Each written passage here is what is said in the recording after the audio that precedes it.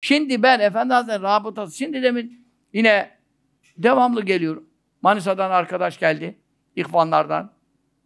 Kardeşimiz. İsmini vermeyeyim. Yukarıda şimdi geldi. Şimdi de sohbette burada.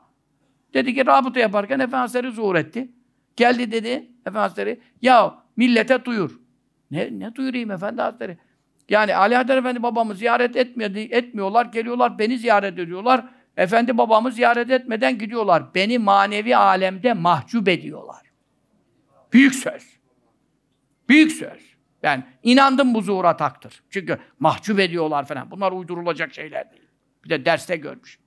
Ondan sonra yani ben bunu nasıl inanmam? Hoca değilim, hacı değil. Yani hacıdır belki de yani tebliğim şeyim yok yani. Görevim şeyim yok.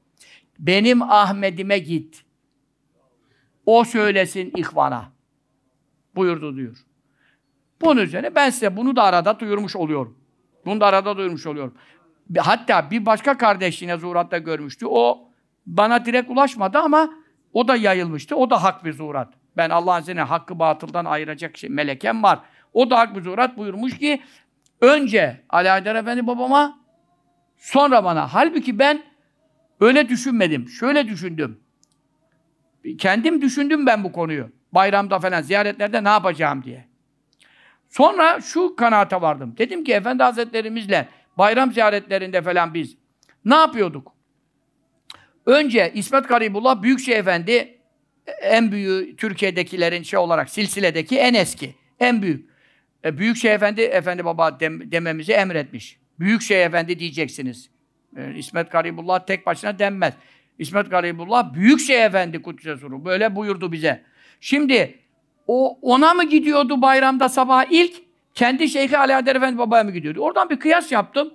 Kıyasa göre e, önce Ali Haydar Efendi babaya gittiği için, benim de Şeyhim Mahmud Efendi Hazretleri olduğu için önce Efendi Hazretleri'ne gideyim, sonra Efendi babaya geçeyim. Bir kere de böyle yaptım. Bir veya iki. Tak! Zuhuratla Efendi Hazretleri müdahale etti. Ne buyurdu? Önce Ali Haydar Efendi babama, sonra bana. Şimdi de çift dikiş oldu.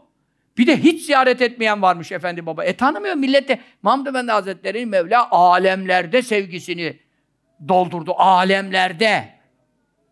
Gecenin ikisinde git, yüz kişiden aşağı ziyaretçi yok. Alemlerde. Ne diyor İsmet Garibullah Hazretleri Name-i Merhube isimli risalesinde? Rabıta ancak kamil zata yapılır. Kamilin alameti nedir? Alemlerde sevgisi zuhur edecek. Nerede var Mahmud Efendi'den başka böyle bir durum? Kusura bakma. Darlan yatağına ayrı sersin. Onun için yani her şeye müdahale ediyor. Farkında mısınız? Bütün rüyalarla, bütün zuhuratlarla mübarek çünkü tasarrufu arttı. E, kılıç kınından çıktı ruhlar aleminde. Bak diyor biz beni mahcup ediyorsunuz. Allah Allah. Bir türbe işlerinde bir sıkıntılar oldu. Neyse teferruatına girmiyorum. Şu mu yapacak, bu mu yapacak?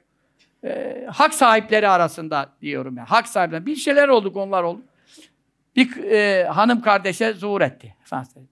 Yahu dedi şu meseleleri halledin de ben de sizinle uğraşmaktan yani sizin aranızdaki işlerden burada manen sıkıntı duyuyorum. Rabbimle baş başa kalacağım ya dedi ya. Rabbimle baş başa kalamadım sizin yüzünüzden. Ne ihtilaf ediyorsunuz ya? Hiç ihtilaflık bir şey yok aslında.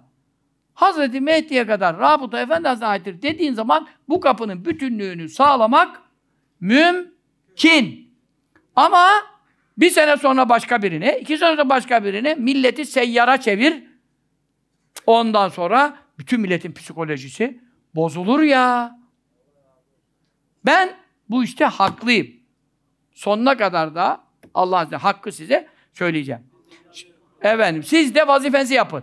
Çünkü yeni bir toplantı olmuş böyle 500 kişilik. Bu da yeni geldi bu bilgi yani. Allah için siz duyurun. Kadınların, ya bu kadınların işi mi bitti ya? Allah'ım ya Rabbi. Ya Rabbi bu Efendi Hazretleri kadın ihvanını hayırla ıslah eyle. Amin. Hidayet eyle. Amin. Rabıtaya irşad eyle. Amin. Efendi Hazretleri rabıtasını bozdurmakta muhafaza eyle. Amin. Bunu kasıtlı yapanları da Ya Rabbi en yakın zamanda bu işte uğraşamayacakları hale getir Ya Rabbi. Amin. Amin. Sen bilirsin kime ne yapacağını Ya Rabbel Alemin. Allah sipariş verilmez. Allah'a sipariş vermemize lüzum yok. Ya Rabbi bu işte uğraşamayacak hale getir Ya Rabbi. Şimdi birilerini duyarsak uğraşamayacak hale geldikten o zaman deriz dua tutmuş. Birilerinin başına gelebilir bu iş. Uğraşmayın Efendi Hazretleri'nin rabıtasıyla. Uğraşmayın. Hak onun. Onun. Hasan Efendi hocamız zaten kabul etmemiş bu işi. Sen niye istismar ediyorsun? Niye istismar ediyorsun? Allah Hasan Efendi hocamıza hayırlı uzun ömür versin. Sıhhat atifiyet versin. Başımızda daim etsin. Çünkü o bereket. Büyüğümüz. Efendimiz bırakmış onu. E tamam. Rabıta ayrı bir konu kardeş. Bunu niye karıştırıyorsunuz? Burada ben nefis için bir iş yaptığımı düşünüyor musunuz? Vallahi yapmıyorum. Hiçbir davam yok, derdim yok. Ama insanları ben çoğuna sebep oldum, getirdim bu yola da. Şimdi Hasan Efendi'den sonrasında rabıtayla robot yapacaklar. Birilerini getirirler, götürürler. Hasan Efendi gibi bir insan bile bu işi kabul etmediği halde ki Efendi Hazretleri bunu zaten baştan beyan ettiği halde yeni işlere, bid'atler, yeni iş çıkartmayalım. Tarikatta yenilik çıkarırsan diyor, şeriatta bidat çıkartmakla eşittir diyor İmam-ı Rabbani. Ha şeriatta, itikatta bidat çıkarttın, ha tarikatta bidat çıkarttın. Bidat çıkartmayın ya. Efendi, şey efendiden buyurulan bir şey. Mesela, şimdi diyorlar ki, Hasan Efendi böyle bir şey demedi. Diyelim. Hasan Efendi böyle derse, ya olmamış bir şeyi konuşuyorsun, uyduruyorsun, istismar ediyorsun. Anladın mı sen? Bir, peki, biz kimden ders aldık? Mahmud Efendi Hazretleri hayattaydı. Hep ders almıştık ondan. Tamam. Bu noktada insan kimi dinleyecek? Kendi ders aldığı şeyhini. Diyelim. Şimdi İmam Rabbani Hazretleri mesela tayyatta parmak kaldırma işine ne diyor? Koca İmam Rabbani kaldırmayın diyor. itiraz ediyor. Bir Efendi Hazretleri'ne sorduğum bakıyorduk efendi kaldırıyor. E mektubatı bilmiyor mu? Ezbere biliyor. Dedik Efendi Hazretleri ne oldu? E buyurdu ki Ali Haydar Efendi babamdan gördüm kaldırıyordu. Bizim Hamd Efendi Hazretleri bağları. Ondan sonra efendim üç tane böyle mesele var. Nafile namazları cemaatle kılınmaz. İmam Rabbani orada da Hanefi fıkhına dayanarak itiraz ediyor. Bazı meseleler zikrediyor. Haklı tarafı var. Tabii ki haklıdır. Ve lakin Haydar Efendi Hazretleri tesbih namazı cemaatle kılıyor muydu? Tekkede kılıyordu. Şahitleri var mı? Var. Efendi Hazretleri ne buyurdu? Hasan Efendi hocamız hatta gitmişti. Dedik bu cübbeli nafile namaz kılıyor. Burada 20 sene, 25 sene evveli konuşuyorum. Nafile bazı namazları cemaatle kılıyor falan. Efendi Hazretleri e, dedi ki e, istihare yapacağım. Sonra istihare yaptığını, istihareden sonra dedi ki e, kıldırabilir. Müsaade var. Mikail amca rahmetli oldu şimdi. Buranın ağası oydu. Mikail amca e, onun şahidi. Ondan sonra o anlattı o zaman. Sonra Ali Adem Efendi Hazretleri'nin eski ihvanlarından yanına gelenlerle konuştuğunda bu konu açılınca ben tesbih namazını cemaatte kıldık tekkede dedi. Efendimiz daha da rahat etti. Orada yine kime bakıyor? Ali Adem Efendi babaya bakıyor. Mevlid meselesi. Mevlidin makamlı okuması. İmam Rabbani Hazretleri mevlütlerin enstrüman, aletlerle şimdiki yapıyorlar ya ilahiciler. Onlara İmam Rabbani'ye karşı. Hanefi mezhebinde zaten enstrüman haram, yasak. Mesele o değil. Ama Efendimiz orada makamla okuma meselesi yani nameyle, makamla okuyorum ya ben bürdeyi. Mevlid'i okuyorum. O makamla okumaya Efendimiz bir ara itiraz şey yaptı. Sıkıldı oradan. Hatta bir adedi külli daim ve devain okuyoruz ya. Onu şimdi makamla okuyoruz. Okurken bir sinirlendi mihraptan falan. Dur dedi falan. Böyle okuyacaksın dedi. İşte Allah'ım salli ala sene Muhammed ve ala sene Muhammed. Bi adedi külli daim ve devaim ve barik ve sellim aleyhi ve aleyhim kesira, kesiran kesira falan. Aynı böyle 30 senelik belki 40 sene yakın iş. Mihraptaydı, ben cemaattaydım. Böyle okuyacaksın. Sakın öyle makam yok falan. Ondan evvel makamdan okunuyordu. Seyfettin Hoca'nın babası var, Yağcı Mahmut Efendi. Hala da sağ Allah afiyette daim etsin. O mesela Hızır Efendi falan bir toplanırdık. Hızır Efendi biz talebesiydik. Şehit Hızır hocamızın Allah kabrini nur eylesin, derecesini âle eylesin. Makamla, Risale-i Kutsiye bile makamdan okunuyordu. Risale-i Kutsiye. Yanıkta sesi vardı. Sonra Efendi Hazretleri bir dönem dedi makam bir şey yok. Kur'an'dan başka yok. Buna da uzun süre yani birkaç senelerce bu hususta şey yaptı. Ondan sonra İhsan Efendi geldi. Rahmetullahi aleyh, kabri nur olsun, derecesi âli olsun. Büyük veli, büyük allame, can. İhsan Efendi hocamız geldi. Efendi Hazretleri'nden oturuyoruz yine. Tefsirden odasında diye hatırlıyorum. Orada dedi ki, e, ben dedi, Efendi Baba'da şahit oldum dedi. Bahattin abi vardı oğlu, Bahattin Gürbüzler, Hafız abi derdik ona. Bahattin abiye dedi, Mevlüt okuttu Süleyman Çelebi'nin. Mevlüt'ü de dedi, çok makamlı okudu. Onda sesi güzeldi, gürdü, makam dersi bile almıştı o.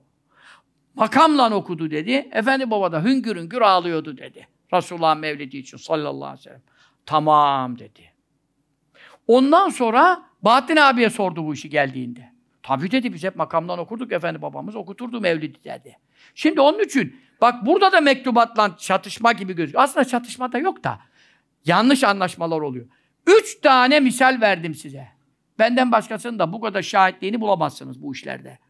Aa, şimdi üç tane misal verdiğime göre üç tane misal verdiğime göre mektubatla Ali Adar Efendi Hazretleri arasında kalınan üç meselede Mahmud Efendi Hazretlerimiz neyle amel etti? He? Ali Haydar Efendi Hazretleri.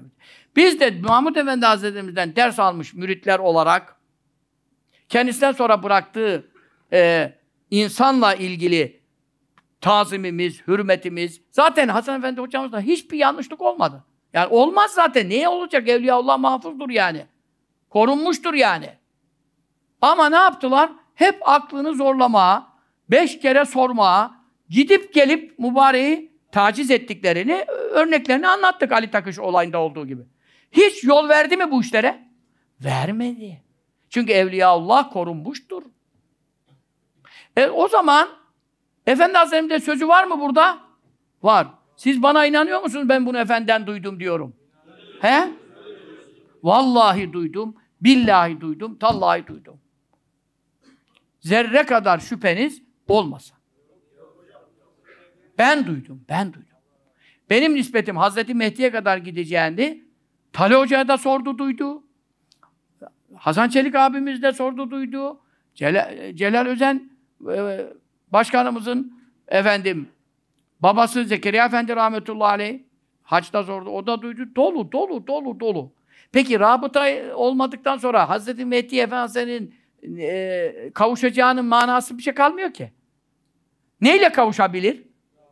Nispet, nispet ne demek? İrtibat. İrtibat, raba, rabıta, irtibat kelime aynı zaten. Rabata kelimesi. Rapt etti birbirine. Rabıtadır. Onun için biz Efendi Hazretleri'nin rabıtasında olduğumuz sürece bereketi üzerimizde olacak. Eli üzerimizde olacak. Himmeti daim olacak. Medreseler kapanmayacak. Talebeler azalmayacak. Ama oradan oraya, oradan oraya bu işi çevirirseniz bereket bir kaçtı mı yani onun için ne diyorum? Bak 500 kişilik toplantı yapıp yine bunu konuşmuşlar. Yazıklar olsun. İşiniz mi bitti sizin ya? Kadınlarda Efendi Hazretlerine başkasına da rabıta yapılır diyen hocaysa sohbetine dinlemeyin. Medrese ise, medrese hocası da talebe vermeyin. Ben sizi uyarıyorum, ölürüm kalırım. İleride yanlışa sürüklenme tehlikesi var. Çoluğunuza da yazık, çocuğunuza da yazık. Efendiyle devam eden bütün hocalarımız elhamdülillah ekseriyetle ben hiç böyle bir erkeklerde böyle bir şey duymuyorum ama bütün hoca efendiler, medreseler efendi rabıtasıyla devam ediyoruz elhamdülillah. Ne karıştırıyorsun kardeşim ya?